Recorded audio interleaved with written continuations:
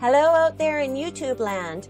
In today's video, I'm going to show you how to connect your new domain name to your web hosting company with your web host's name servers. My name is Janice Giesinger and I'm the Internet Marketing Nomad and I teach new affiliate marketers and internet marketers how to make money online. Now, if you're watching this video, it's because you already have a domain name and you don't know how to connect it to your hosting company. And you probably already have your hosting provider and um, for whatever reason you got your domain name outside of your hosting provider and you need to connect the two. Now I'm in this situation all the time because I always buy my domain names from Namecheap, well and sometimes Name Silo, but usually from Namecheap and I my hosting company is Bluehost. So in today's example I'm going to show you how I add my Namecheap domains to my Bluehost account. Okay, so I'll just uh, put myself in the corner here, get rid of that. And I'm already logged into my Namecheap account. If you don't already have a Namecheap account, um, and for whatever reason you're watching this video, there'll be a link down below.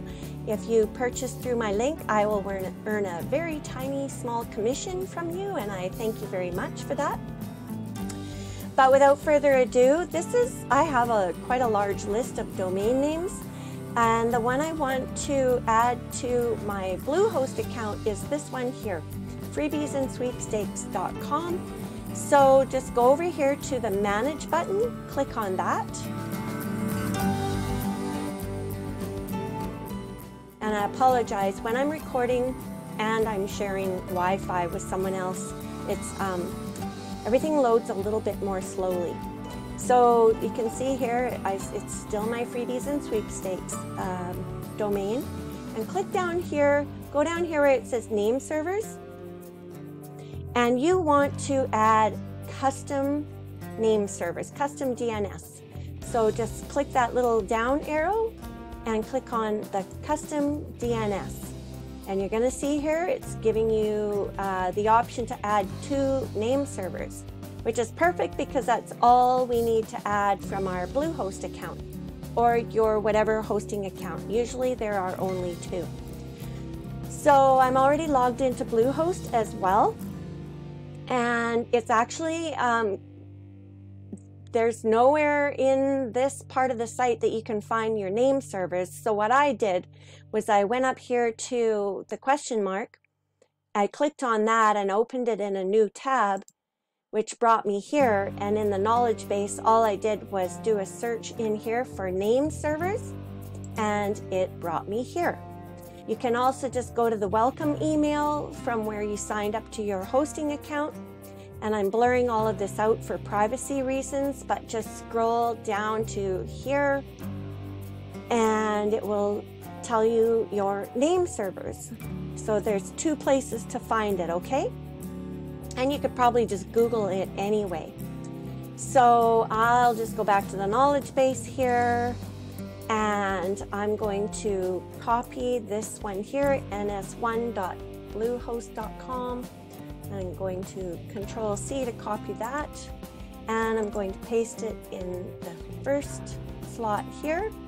And then I'm going to go back and get the second one.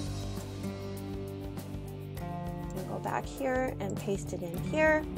And now to make sure that these um, that your name service have actually connected you have to go right here and click the little check mark And we're going to get a little a little notice here. It says DNS server update may take up to 48 hours to take effect. Now, I, in my experience, I've never had to wait that long. Usually it happens in a few minutes. I think I've waited as long as 15 minutes, but just so you know, maybe it depends on your proximity uh, to where you are in the world, your proximity to the, um, the closest server for your hosting company. So that's it, you guys. That's how easy it is to set up your domain name to your hosting account. Now, like I said earlier, if you don't already buy your domain names through Namecheap, you can get a Namecheap account by clicking the link below in the description.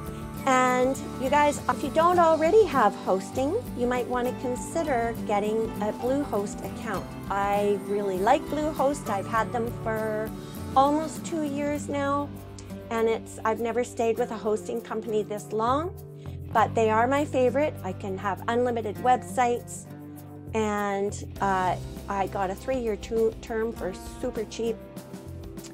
And if you want to try it out, you can click the link down below. If you do get Bluehost through my link, I will earn a small commission from that, and I want to say thank you in advance. And in the next video, I'm going to show you how to upload WordPress to your new domain name in Bluehost. So thanks for watching you guys. Please remember to like this video, hit the subscribe button and hit the notification bell. I will see you in the next one. This is Janice over and out.